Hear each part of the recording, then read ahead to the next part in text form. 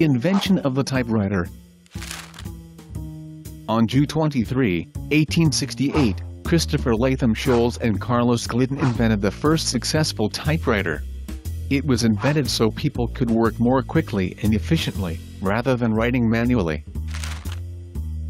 The concept of the typewriter was concocted by Henry Mill in 1714, but he never got it patented. Therefore, it was not recreated until the late 19th century.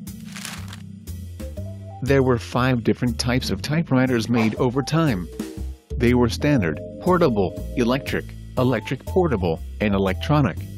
The first typewriter invented was a standard.